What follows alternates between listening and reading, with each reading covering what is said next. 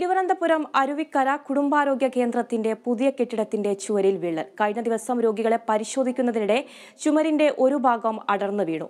പഞ്ചായത്ത് നൽകിയ പരാതിയിൽ അന്വേഷണത്തിനിടെ കരാറുകാരൻ വിള്ളലടയ്ക്കാൻ രഹസ്യമായി ശ്രമം നടത്തിയത് പ്രതിപക്ഷം തടഞ്ഞു.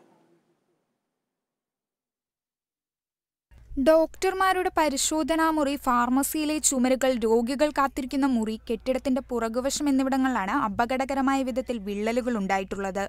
കഴിഞ്ഞ ദിവസം രാവിലെ രോഗികളെ പരിശോധിക്കുന്നതിനിടെ ചുമരിന്റെ ഒരു ഭാഗം അടർന്നു വീണതോടെ രോഗികളും ജീവനക്കാരും ആശങ്കയിലാണ്.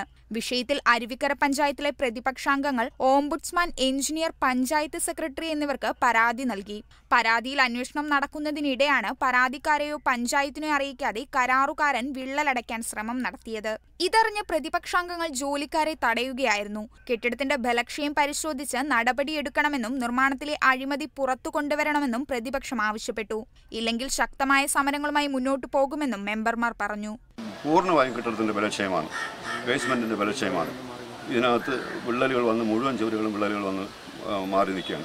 ഇത് ഞങ്ങൾക്ക് വ്യക്തമായ ഇതിന്റെ ഇതിന്റെ മറുപടി കിട്ടണം. ഇത് എന്താണ് അവർ പണി ചെയ്യണതെന്നും പൊതുജനങ്ങളെ ഞങ്ങൾക്ക് ഇത് ബോധ്യപ്പെടുത്തണം. കെട്ടിടത്തിലെ അറ്റകുറ്റപ്പണി ഉടൻ നടത്തുമെന്നും അപാകതയുണ്ടെന്ന് കണ്ടെത്തിയാൽ കുറ്റക്കാർക്കെതിരെ നടപടിയെടുക്കുമെന്നും പഞ്ചായത്ത് പ്രസിഡന്റ് ആർ കല പറഞ്ഞു സ്ഥാപനങ്ങളിൽ ഇത്തരത്തിലുള്ള ആ, പിന്നെ കെട്ടിടം പണിയിൽ ഒരു വീഴ്ചയോ അല്ലെങ്കിൽ വിള്ളലുകളോ അല്ലെങ്കിൽ തകർന്ന വീടുകളെല്ലാം സ്വാഭാവികമായിട്ട് സംഭവിക്കുന്നതാണ്.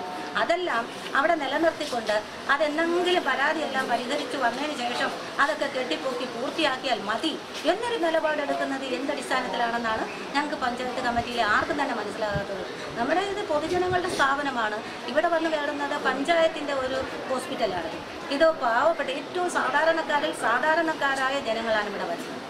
അവർക്കാണ് നമ്മൾ ചികിത്സ ഉറപ്പാക്കേണ്ടത്. അതുവരെ ആശുപത്രിയുടെ പ്രവർത്തനം തടസ്സപ്പെടുത്തുവാൻ അനുവദിക്കില്ലെന്നും പ്രസിഡന്റ് വ്യക്തമാക്കി. രണ്ടായിരത്തി ഇരുപതിൽ കെട്ടിടം ഉദ്ഘാടനം ചെയ്ത ആറുമാസം തികയും മുൻപ് തന്നെ വിള്ളലുകൾ പ്രത്യക്ഷപ്പെട്ടിരുന്നു. തുടർന്ന് ചില അറ്റകുറ്റപ്പണികൾ നടത്തിയെങ്കിലും വീണ്ടും വിള്ളൽ രൂപപ്പെടുകയായിരുന്നു. Kerala vision news Thiruvananthapuram.